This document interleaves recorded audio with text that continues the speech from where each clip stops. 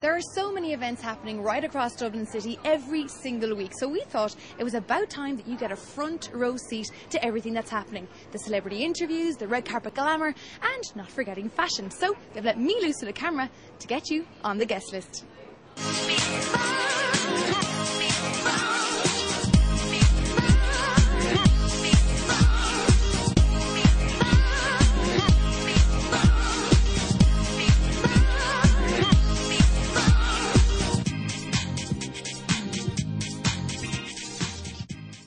Coming up on the programme tonight, I'll be catching up with Barry McCall for his latest book of photography. Also on the programme, Judy is rubbing shoulders with Peter O'Brien at the launch of his brand new collection at Arnott's. But right now, I'm off to Lillie's Bordello to catch up with the A-list stars who are heading off to Kilimanjaro, all in aid of Our Lady's Children's Hospital in Crumlin. So let's see who's there.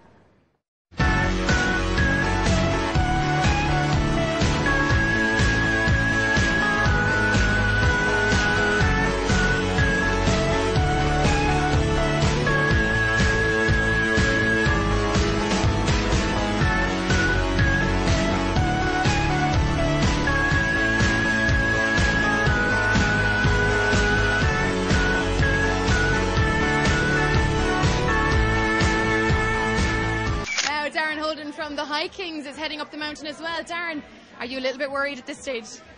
I am a little bit worried, I, I guess, with the whole altitude thing. You know, I've been reading a lot about it today, actually. I'm, I'm, I'm very, very uh, late on all my preparations, you know. Um, I started packing my bag today, started reading up, started taking my altitude tabs. Sometimes knowledge is not a You good know thing. what? Um, Sheila was actually uh, telling me the other day that she's been reading a little handbook before she goes to bed every night, and she hasn't been sleeping. So I was like, well, I'm not, not going to do that.